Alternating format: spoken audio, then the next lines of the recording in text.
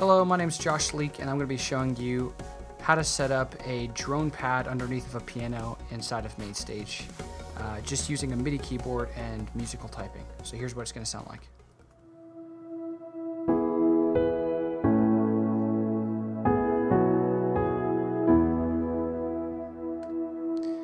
So again, all you need to do this is uh, a MIDI keyboard and MainStage, and then we're going to use musical typing to trigger the drone. Uh, so we're going to come over here and do this step by step. Click on Layout, and uh, just to show you how to do this from scratch, I'm going to delete everything I had set up. We're going to come down here, click on Shelf Controls, and get a new keyboard going here. Now in order to do this, you're going to want to set your MIDI keyboard to channel 2. Uh, and every keyboard does this in a different way, so you may have to look up how to do that. Um, but I'm going to go ahead and set mine to channel 2 here.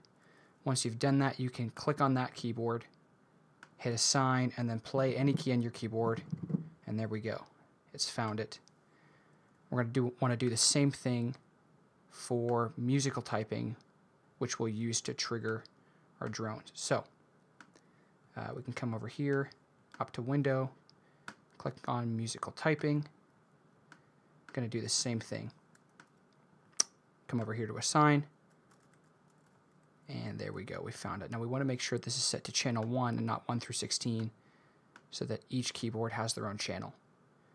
Uh, last thing we're going to want to do is set up a button which is going to turn our drone on and off. Okay, come back over to edit and again for the sake of showing you I'm going to do it from scratch here. So we're going to create a new channel strip, uh, set it to an instrument and then I'm going to have it be from my MIDI keyboard. And uh, for time's sake, I'm just going to have it be a piano that I already created earlier today. So if this got set up right, there we go. You can hear the piano coming through. Now we want to create another channel strip for the drone, which we'll use keyboard 2, which is the musical typing keyboard. And again, for time's sake, I'm going to do a pad that I already created earlier. There we go. Now if this works, yep, there's the drone.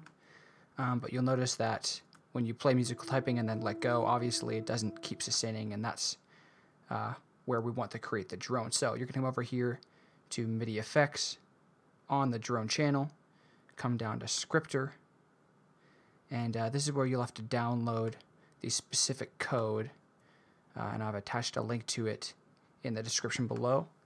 I just called it sustain. And what this code does is it uh, causes this pad to infinitely sustain until you turn the scripter off. So here's how it works. And now when we hit the off button on the scripter, it turns the, uh, the sustain off. So what we want to do is we want to set this button to work as the on-off switch for that scripter. So we're going to click on this button, come down here to the pad that we made, go to scripter and set it to bypass. So now when we turn the button on, you'll see that it turns scripter off, and then when we turn it back off like that, scripter's back on.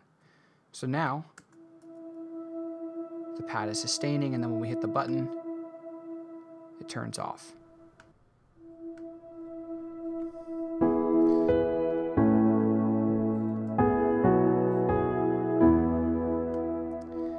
And there you go, that's how it's done.